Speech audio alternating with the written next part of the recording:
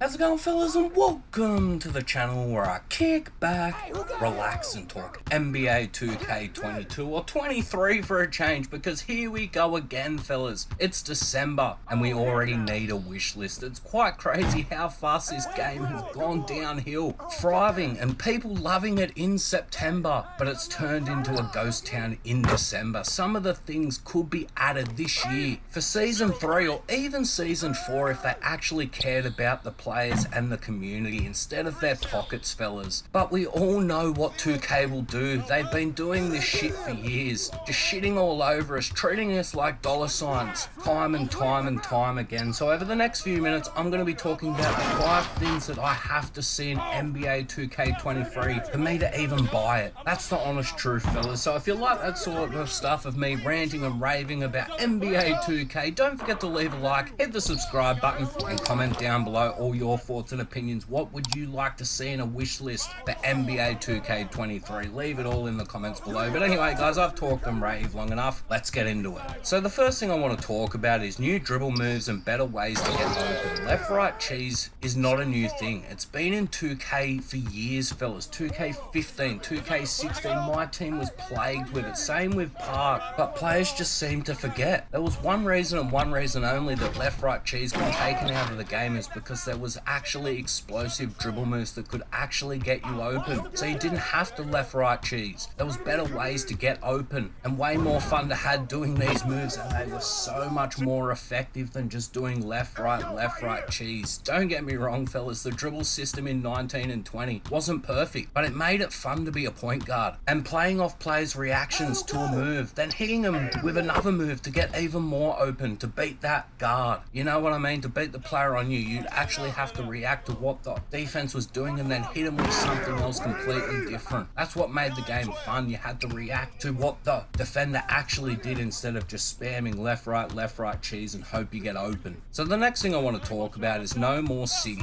We've tried the city, fellas, and it's a swing and a miss in my opinion. It was just a failure. We just want to play basketball, not go shopping at the mall or walk the fashion runways. What's the point? It's a basketball game at the end of the day, fellas. You don't have to go to the shop buy clothes. You should just be able to buy them out of the menu. Just hit the start button, go to the shop, and then buy the shirt straight away. None of this running 10, 15 minutes to go buy a black t-shirt. You know what I mean, fellas? It amazes me where their priorities are. We have a giant city, but we can't get features to work that we've needed to work years. We have to wait weeks, months, and as I said, sometimes years to get the simplest things fixed like matchmaking and progression to actually work for everyone. Instead of making a detailed city, we just need working matchmaking all the time for everybody. Progression to actually work, because that's the thing that matters. If they got rid of the city, so many detailed matchmaking levels could be added more and more throughout the year. Plus, we wouldn't have to join everybody that's in the city, just the six players that are playing on the game, increasing performance instead of having to connect to everybody and making it lag or have latency, as Agent would say. To be honest, fellas, the city isn't going anywhere anytime soon. So this is it for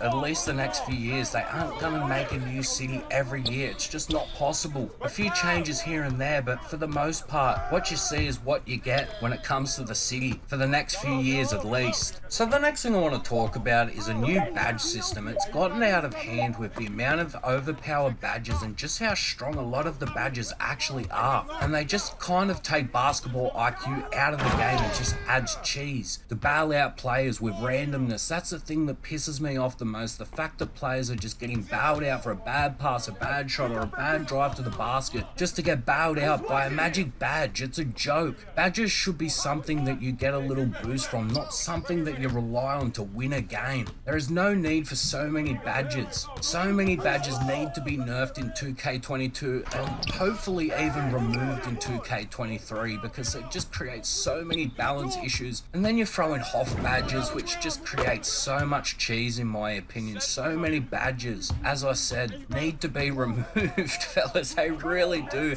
out of the game. This system always breaks every year one way or another, but they just continue to give players all these badges. And if they don't remove them, I know players will hate this, but maybe just give us a few less badges or a few less badge points. So the next thing I want to talk about is better and more events on all consoles. It's not our fault that they've made played two games, but one of the best things about NBA 2K was the events. Even though boosters pretty much ruined all the events and a few other issues like connections, being kicked from games on events that actually compete for the highest streak, that's just not fair at all, fellas. It's a shame because this feature would be great if working correctly. It'd probably be the best feature that 2K has, period. And it'd be great for the community, but 2K just don't do events that well. They really don't, fellas. I'm talking about the old events. I remember the first event with Snoop Dogg, the Park After Dark, where Snoop Dogg was meant to be playing live, like what Fortnite did with Marshmello a few years back. 2K was the first to think of it, but did they execute it? Fuck no.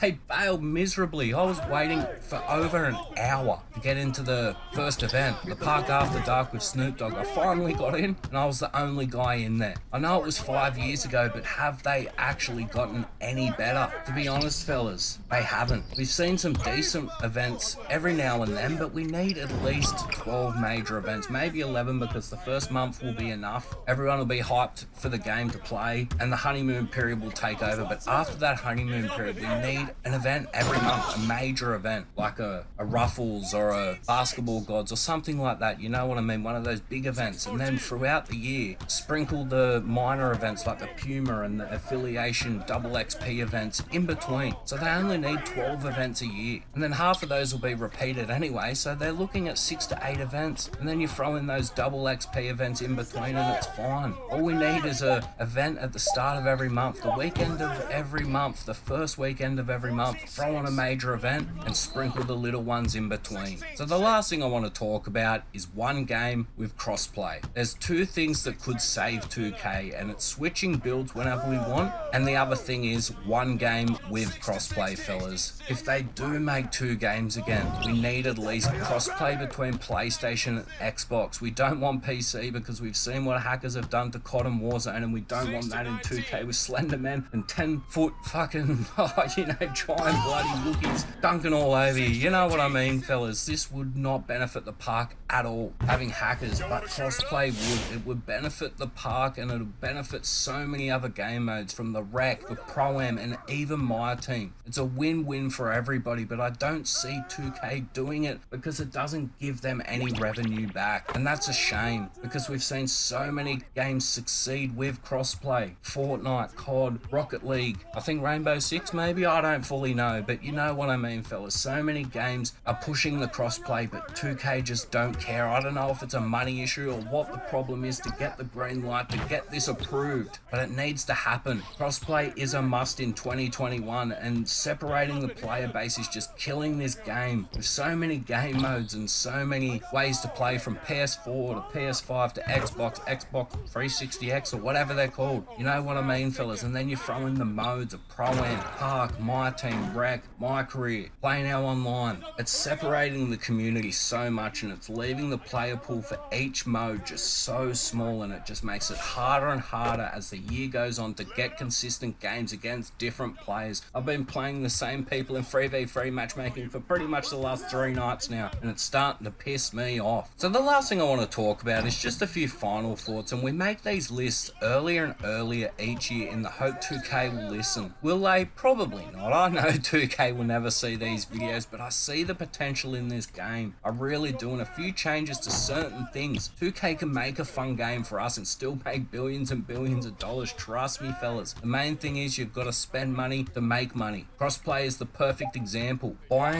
likenesses to content so you'd have celebrities or movie characters, TV characters in the game. That's the next step for 2K. I'll talk about it in the next video, but the, at the end of the day, 2K need to care about the community more than the community cares about 2K, but it just ain't happening. But anyway, guys, I've talked and raved long enough. If you do like these rant, raves, whatever you want to call them, don't forget to leave a like, hit the subscribe button, and comment down below. Do you agree with my wish list? What would you add? What would you take away? Leave it all in the comments below. But anyway, guys, I've talked and raved long enough. Leave a like, comment, subscribe, and I'll catch us later.